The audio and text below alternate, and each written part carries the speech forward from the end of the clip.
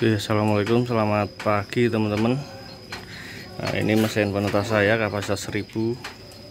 Ini telur-telur yang mau dimasukin nanti sore. Nah, ini kapasitas 1000 itu udah full nih dari 57 betina. Tadinya tadinya 60 betina. Nah, ini udah mulai netas tuh. Nah, udah mulai menetas nih satu. Oh ya ini telur telur ayam hutan sama telur darah ini punya tetangga titipin ke sini. Nah, ini kita buka aja nggak apa-apa. Ini sebenarnya netes di sini tuh bisa ya teman-teman. Nah ini udah mulai retak-retak nih. Jadi mau netes di sini tuh bisa, tapi kalau mau lebih rapi lagi, nanti kita pindah nih ke sini menjelang netes tuh pindah ke sini. Ini namanya mesin hatcher, hatchery nah ini kapasitas 500 butir yang ini. Nih kita lihat nih udah mulai retak-retak tuh. Telurnya udah mulai retak-retak nah, ya. nah jadi habis ini kita mau mindah. Ini kan ada tiga tahapan nih. Yang pertama ini uh, 350-an lah di bawah minggu pertama di minggu kedua 350-an di minggu ketiga 350-an juga. Jadi yang paling pertama masuk kita keluarin dulu kita pindah ke mesin hatchery ini. Ya, sebenarnya notus di sini bisa ya tapi biar lebih rapi aja kita pindah ke mesin hatchery oke sekarang kita mau keluarkan ini telur. Oke ini sekarang kita keluarin keranjang-keranjangnya ini buat mesin hatchernya. Kita tarik saja. Di sana ada dua ya dua sap ke sananya kalau ke atasnya ada 10 nih. Ini telur yang mau mentas kita pindah ke sini aja nih supaya lebih rapi. Jadi nanti telur-telur yang belum mentas juga lebih bersih kalau pakai mesin hatcher tapi kalau kalian nggak punya mesin hatcher boleh pakai ini tapi nanti dibersihin pakai sulak atau kemoceng. Ini pindah aja nih. Wih, tolong nih selawe selawe. Orang selawe orang apa 20 orang 20 butir apa. Karena, karena masih longgar, ha? cukup apa nih? Cukup biar apa cukup cukup nah di cukup beda cukup beda pindah ini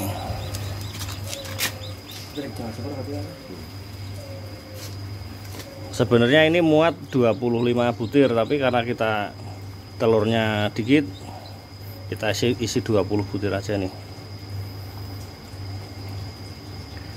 Lu, ini udah 20 butir ini masih longgar ya 20 butir masih longgar.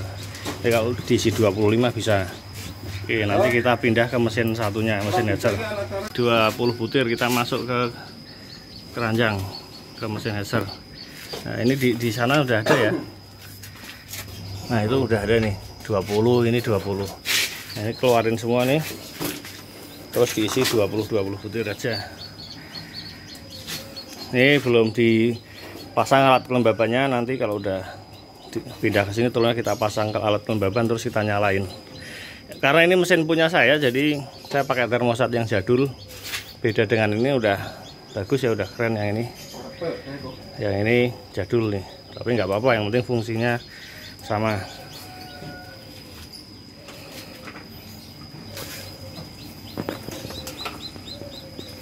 ini nanti setelah yang bawah ini keluar yang mau menetas jadi telur yang tahap kedua yang baru umur dua minggu kita turunkan ke bawah ke bawah ke bawah nanti yang atas kosong. Nanti rak yang atas kosong kita isi lagi telur yang baru. Telur yang ambil dari kandang. Ini teman-teman telurnya sudah mulai retak ya ini. Sudah mulai retak mau menetas. Nah kita pindah ke sini maksudnya apa? Biar lebih rapi saja. Jadi begitu menetas tuh di keranjang sini. Nggak di mesin yang ini. Walaupun sebenarnya di sini bisa menetas tapi kalau entas di sini nanti kita harus rajin-rajin membersihkan karena banyak bulu-bulu yang terbang. Nah ini kalau netas di sini kan ini bersih nanti. Nah. bersih pak? Nah.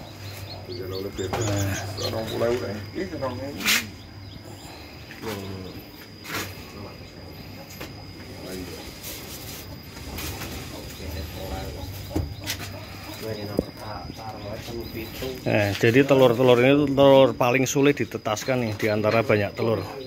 dari telur ayam kampung telur bebek telur ayam hutan ini jenis telur yang paling sulit ditetaskan tapi kita buktikan dengan menggunakan mesin tetas buatan kita netasnya tetap bagus tetap sempurna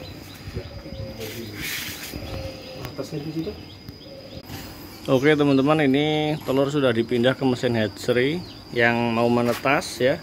Ini rata udah mulai retak di dalamnya. Tuh coba ada retak. Ini udah dinyalain mesinnya.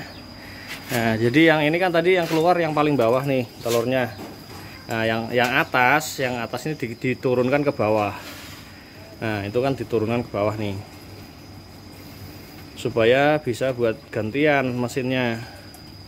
Nanti kalau udah yang bawah udah full berarti kan yang rak yang paling atas kan kosong nih.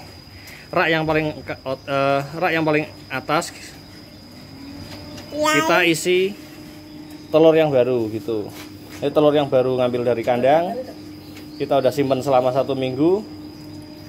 Nah kita taruh di rak bagian atas. Terus nanti ke bawah ke bawah gitu. Nanti yang udah menjelang menetas kita pindah ke sini. Nah ini beda suhu. Kai sing mesin ini gitu nah nah ini nanti beda suhu teman-teman. Kalau yang di sini kita pakai suhu 37 ya.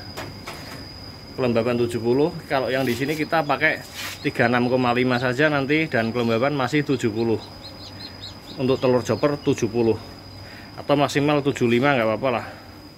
Kalau telur bebek ya sama 75 sampai 80 kelembabannya. Ini eh, sudah nyala semua.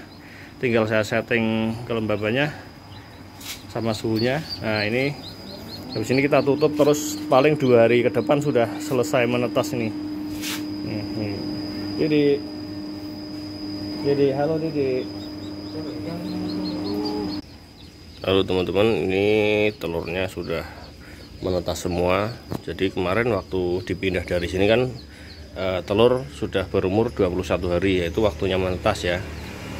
Kemarin ada satu ekor yang menetas di sini tapi kita pindah sini.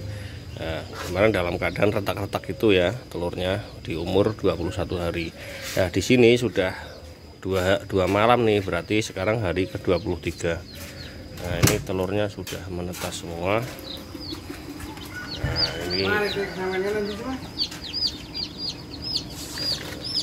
nah ini ayam-ayamnya sudah mulai menetas semua. Nah ini kemarin segini diisi 20 butir walaupun bisa diisi 25 nah.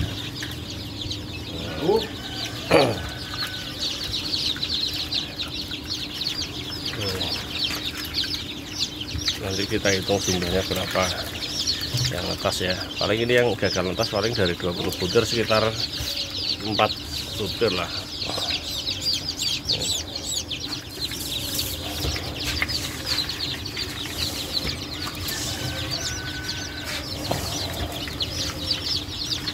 ini diisi 5 atau semua yang ini kita kita hitung ya. tuh dua tiga satu dua satu dua tiga empat lima enam tujuh ini 15 ekor nih yang segini dari 20 telur. Ini juga berapa nih? Satu dua tiga empat lima enam tujuh delapan. Ini 17 ekor yang ini dari 20 telur atas 17 ini. Satu dua tiga empat lima enam 7 8 nih 16 ekor. 1 2 3 4 5 6 7 8 17 ekor. Dari 20 telur atas 17 nah ini tinggal dipindah ke kandang untuk ngepur nanti kasih lampu penghangat. Nah itu dulu teman-teman